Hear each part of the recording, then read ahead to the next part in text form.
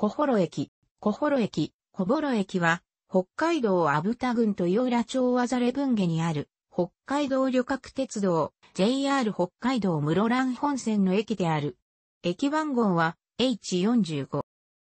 冷分化トンネルと新変化牛トンネルという二つの長大トンネルの間に挟まれた崖のわずかな明かり部分に位置しており、四方のうち三方が休憩者地、一方は海、内浦湾に接している。そのため、鉄道と船舶以外の交通手段では、接近が難しい。1943年、昭和18年に列車交換のための信号場として設置された。当時、室蘭本線と函館本線では、石炭をはじめとする太平洋戦争中に急増した軍事輸送の対応に迫られていた。該当線区はトンネルの連続で勾配も厳しく蒸気機関車をトンネル内に止める信号所の設置が難しく複線化も検討されていたが当駅の前後は勾配が緩く蒸気機関車をトンネル外で停車できるわずかな空を確保できることから通り地が選ばれた。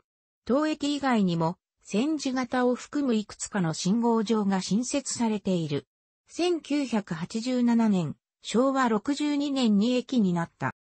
いわゆる、秘境駅の一つとして数えられ、牛山隆信の秘境駅へ移行のランキングにて、秘境駅度1位とされている。2016年3月26日のダイヤ改正以降は、1日あたり下り、室蘭方面2本上り、長万部方面4本、計6本の普通列車のみが停車する。なお、2015年時点では1日8本の普通列車が停車していた。道内の主要幹線である室蘭本線に位置するため、通過する特急列車や貨物列車の数は多い。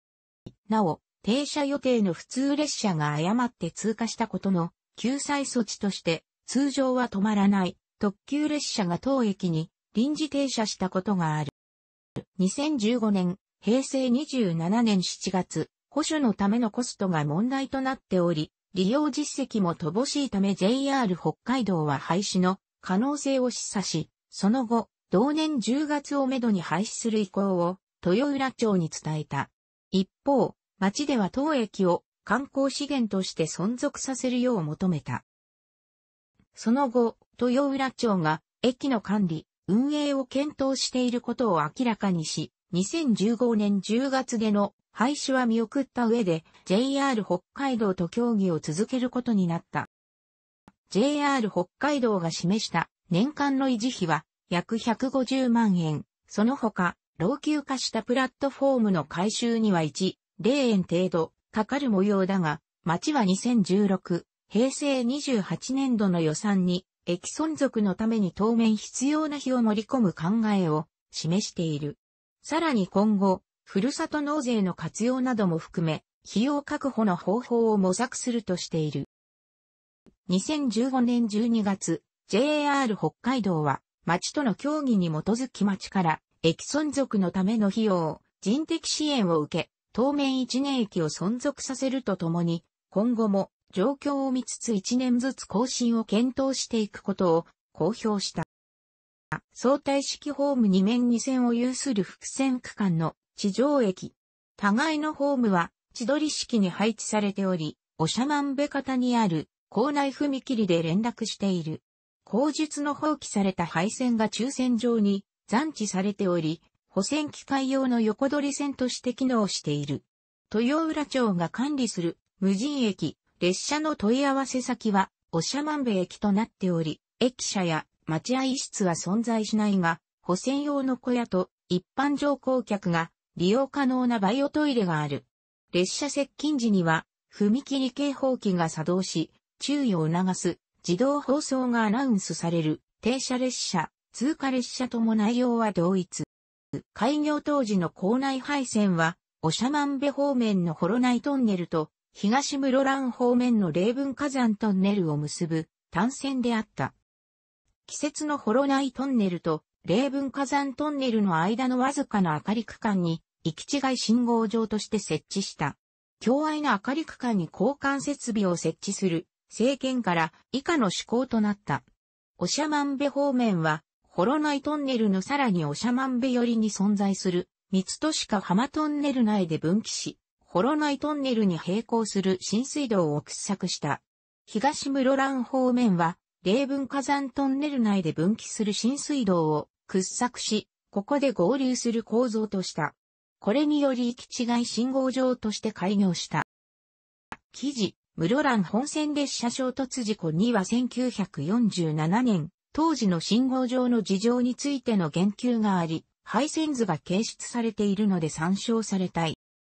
おしゃまんべ川から新静かり、新ネズミの花、新変化牛の各トンネルを季節路線の山側に、新規掘削し、新変化牛トンネルは、季節のホロナイトンネルに併合接続とし、聖火里から小幌信号場間の複線化が1964年7月5日に了した。続いて、東室蘭方面も施行され、霊分火山トンネルの海側に並行して、新レブン火山トンネルを掘削し、聖火里から小幌信号場レブン間を完全複線化として1967年、昭和42年9月29日に開通、同年10月1日をもって、信号場から仮乗工場となった。この時点までに、駅構内に3本の軌道と、東室蘭方面に3つの高校ができ、内真ん中に位置する軌道と、高校、霊分火山トンネル内で分岐した先の一方及び、三都市か浜、レブン火山両トンネル内の分岐が予され、列車行き違い設備としての機能は放棄された。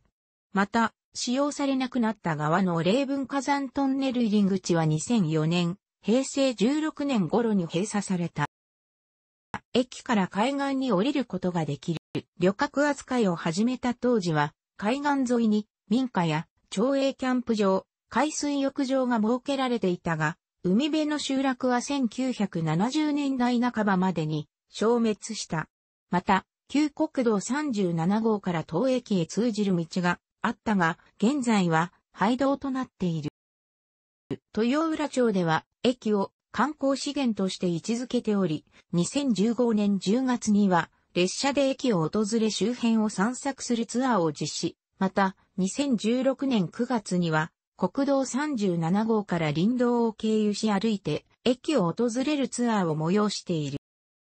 当駅の周辺にかつて一人の男性が住み着いていた。男性は仙人、小幌太郎などと呼ばれ、20年以上にわたって駅に住んでいた。2006年秋に体調を崩して衰弱したところを発見され救助されたが、翌年に死去した。ヘリコプターを使用した男性救助の様子は2007年に放送されたテレビ番組、激殺、警察24時で全国放送された。